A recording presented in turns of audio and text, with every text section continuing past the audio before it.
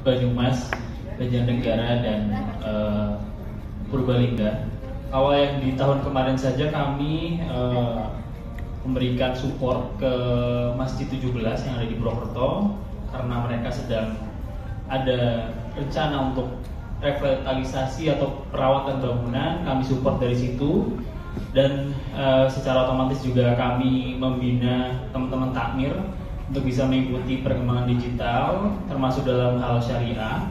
Kemudian di Cilacap juga kita support di tahun sebelumnya di 2022 ada masjid yang memang di sana membutuhkan support dalam hal material bangunan karena mereka sedang melakukan uh, renovasi juga untuk perluasan jadi kami support.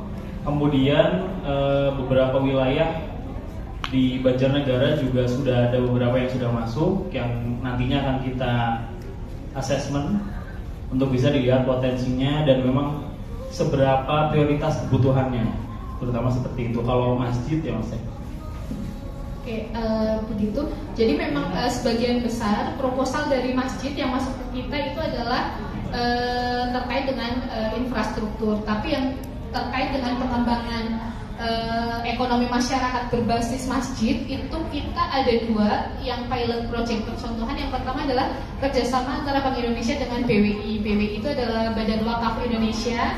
Itu di daerah mana Mas? Rizky?